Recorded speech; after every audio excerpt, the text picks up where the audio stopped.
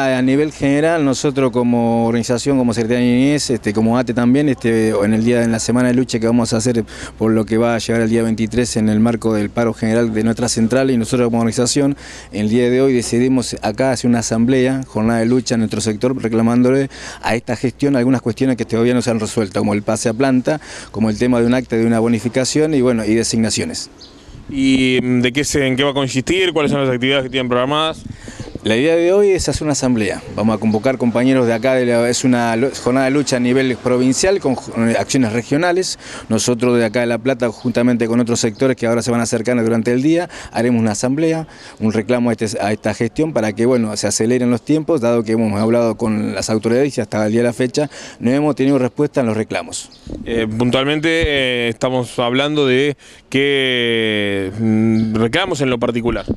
Ya estamos hablando de designaciones genuinas, eh, ya que nosotros estamos efectuados el decreto 1203 y tampoco cumplen el uno a uno, es decir, si se jubila alguien o fallece o renuncia, debería ese cargo estar automáticamente cubierto y no está pasando eso. Pero además necesitamos designaciones genuinas porque en los dispositivos, en los hogares oficiales, se está trabajando con menos de la mitad del personal que debería trabajarse. Después estamos este, pidiendo el pase a planta de todos nuestros compañeros precarizados. Tenemos 335 compañeros precarizados en la órbita de la Secretaría.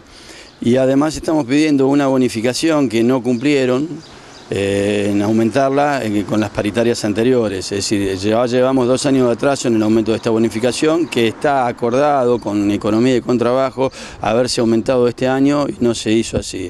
Eh, nosotros venimos llevando, ya tuvimos dos mesas técnicas en trabajo, nos pidieron un cuarto intermedio para darnos una respuesta y ese, ese plazo ya caducó porque esto fue hace 20 días, la última mesa que tuvimos, y el tiempo máximo permitido, si se hubiese decretado una conciliación obligatoria es de 15 días y ya caducó ese tiempo, así que no tuvimos noticia de esta nueva mesa técnica, así que hoy la, idea es jornada de lucha con acciones, como dijo el compañero, con acciones regionales. Nosotros acá vamos a hacer una asamblea para peticionar que las autoridades de acá este, pidan la mesa técnica en trabajo.